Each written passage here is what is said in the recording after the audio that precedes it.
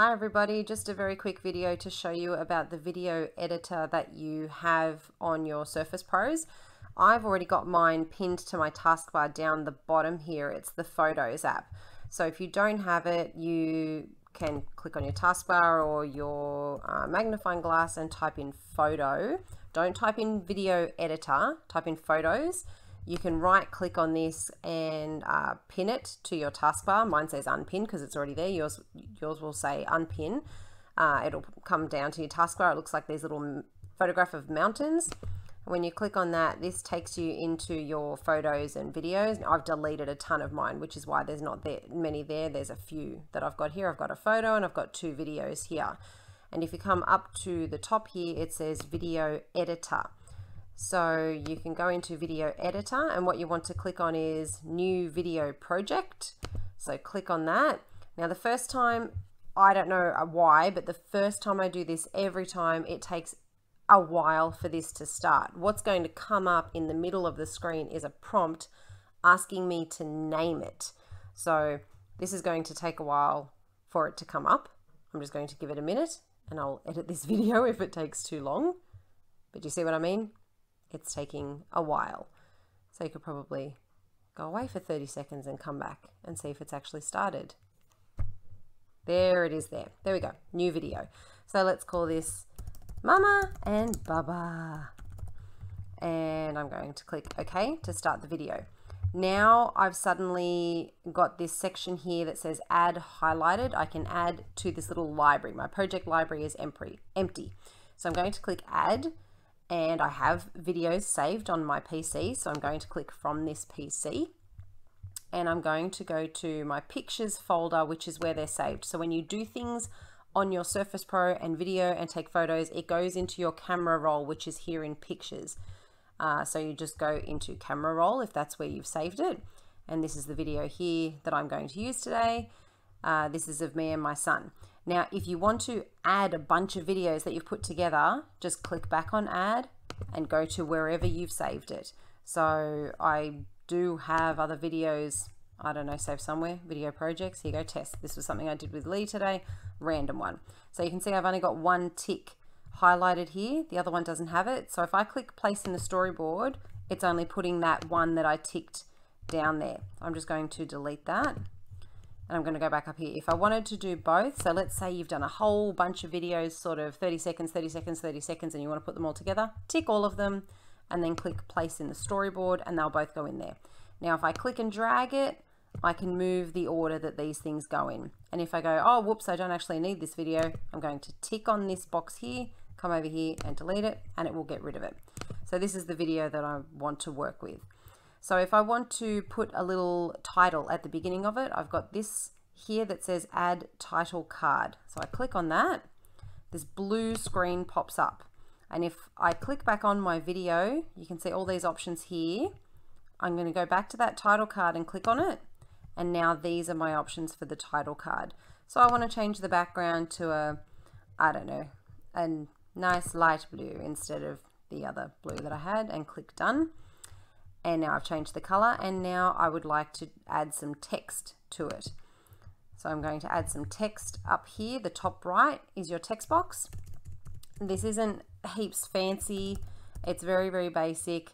So I can either type mama and baba up here, or maybe I want it to stretch out across and I'm going to put mama and baba, whoops, mama and baba. So I've just hit enter a couple of times in between. And on the right here are your options for uh, changing the style.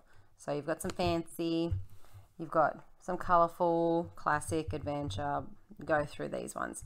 So I, I've been using this one because it's quite bright and colorful. And if you go down, these scroll down, so there's more there.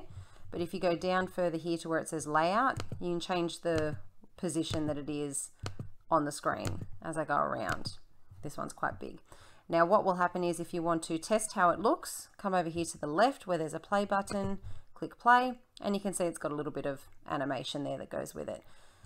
This blue section here across the bottom, you can change the length of time that it lasts for. I've just been using what it is. And when you're done, click done. And when you want to test it, here is your sort of um, time bar down the bottom here. I'm just going to drag it back to the beginning so I can see what it looks like. I'm going to click play and there's my little title that I just created. What do you now it comes to the video. So now in the video here, it's highlighted at the bottom so you know which section that you're working with. And let's pretend that I want to add some text to the bottom of it. What I prefer to do is split this video up to where I want the text so that I know it's in the right spot. It makes it so much easier if you want to go back and edit later. So if we listen to the video, this is my son trying to climb up on my lap. This is me while working from home, day two of trying to do it, which was actually a bit better. So if I play, What do you want? Cuddles Mama chair. You want Cuddles Mama chair. Oh, so let's pretend that's where I want a title. Now I've paused exactly where I want it. I'm going to come down here and click split. Now because I paused it in the right spot, I don't need to muck around with this time bar down the bottom and change where I want it to. So you can if you want to, you can move this around and see exactly where you want to split it, but I know I paused it in the right spot. So I'm just going to go to done. And now you see down the bottom how it's split it into two different videos. So now I can go to this one here and put some text on top of it like I wanted to, which was, I'm just going to say, cuddles, mama, whoops, cuddles, mama, chair. And I might even put that uh, in speech marks as if I'm trying to narrate what this is. Now, obviously, this uh, detail that I've got here is not appropriate for what I'm trying to show because I still want the video to be seen. So I could change it to this over the top. I could change it to this one where it's a bit blurry. I might use adventure. Now this is a bit more colorful and I can move it around the screen if I want to. Cuddles mama chair. I am just trying to find the one where I know it kind of goes over the bottom of it. Oh, there we go. That's probably a better one. Just a little bit of it highlighted there. I could even do it at the bottom. Oh, it's not doing it there. On the side there. So let's say I want to do that one. And now looking at the bottom here, I've got this blue highlight with the text that says Cuddles Mama Chair. I can change the length of time that the text stays on the screen. So I can do that here or I can do it back in my main section. So let's just click done and see what that looks like. Now back here on my time bar, I'm just going to drag this back a little bit because I want to see what it looks like when it transitions into it. What do you want? Cuddles Mama chair. You want Cuddles Mama chair. Okay. Okay, so you can see that works the right way. And now see the highlighter at the bottom here has moved over because I'm on the next bit. I'm just going to pause that. So now if you want to do that throughout, you can split where you want it, put the text where you want it. There are some special effects on here which aren't that grand, but you know, they're there. So 3D effects are here. So um, I like this one, breaking news. So if you click on the one that you want, you can see it does have sound on the side here. Uh, I might move this over here in front of my horrible roof so you can't see all the cracks and things that are in there. And this will spin around. So you can test it by pressing play. Press play. That was pretty quick. Um, so let's click done. And let's have a look at what it looks like. I'm going to drag it back a little bit.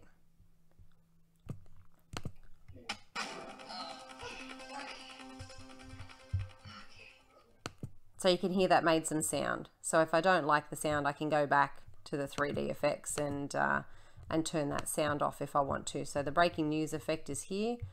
I can take that off by clicking the X. So effects is up here in the middle. Click on that. There's some cute ones here like confetti. So the kids have done something exciting or you're doing something exciting. You can make that a little bit bigger. Let's put it over here near my fish tank and play it and see what it looks like. So I don't like that sound. Let's turn the volume right down on it, but let's have a look again. Something exciting there. And again, down the bottom with this uh, time bar, I can stretch it out and make it last. It looked like it came out of his mouth. I want to do that again. Okay, I'm to go back. That's too funny. Okay. Aw. What? How do you want cuddles? Okay, I'm enjoying this too much. Okay, I'm just going to let that play for a little bit, see how long the confetti goes for. Okay, it's stopped. I want to do something new now with the next effect, so I'm going to split my video. I'm paused where I want it to be, so I'll just click done. And here's the next section now where I haven't edited anything. So let's have a look at uh, uh, filters.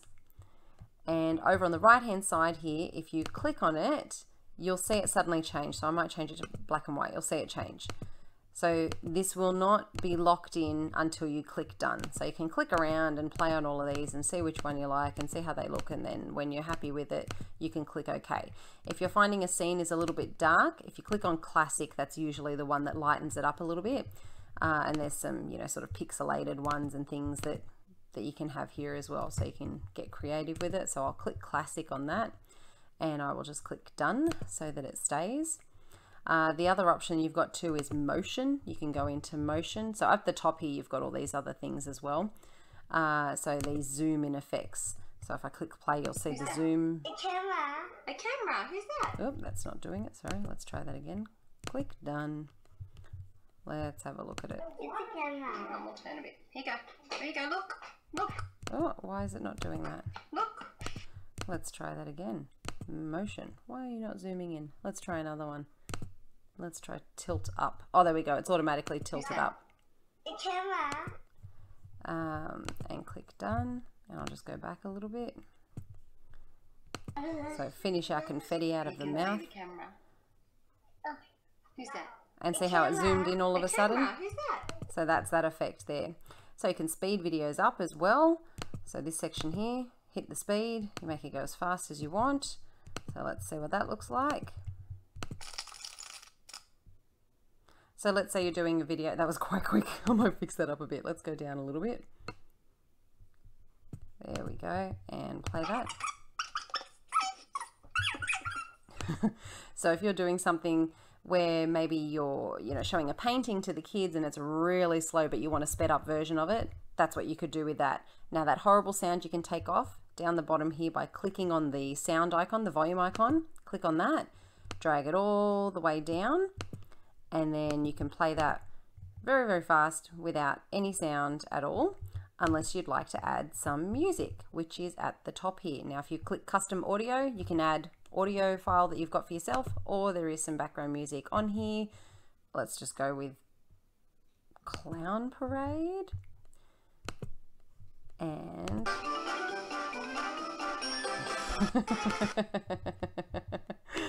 okay uh, you can test it here sorry uh, sorry you can mute the music the volume there so you can make it as loud or not as loud as you want so let's try that a little bit softer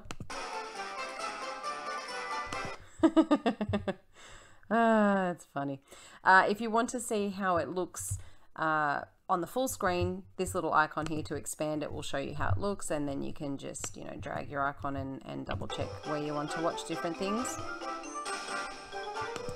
Um, this is good if you're doing something with, you know, print or, or a picture and you want to make sure the kids will actually be able to see it on their screen, being mindful that, you know, some of our kids might be using a small tablet or even a phone to view something. Now, when you're done, you just click Finish Video. It's going to give you a video quality option. So you just drop down for the different ones there. I mean, we've got a lot of space on our Surface Pros if we want to. So I've just been using 1080p to make sure it's nice and clear. And then you click uh, Export and oh, click export. And then it's going to be sort of um, oh, sorry after you pick a spot where you want it to save. So I'll just save that to the desktop for now. Uh, click save. And then this is your this is saving. So depending on how long your video is you know that's how long it will take. I mean you can see my video is 44 seconds so it's not taking very long to export. This will save as a um, a video file that you can upload to Google Classroom um, or if it's a small enough file you might even be able to email it to your kids. Now when it's done it's going to pop up. Oh, it's added video, it's added music to the whole thing. So I've got to be mindful of that the next time I save it, that I'm not doing that to the whole thing. So when I, before I save a video, I usually sit and watch the whole thing and check it first before I click finish video. So don't make the mistake that I just made by rushing ahead with that. All right, hope that was helpful.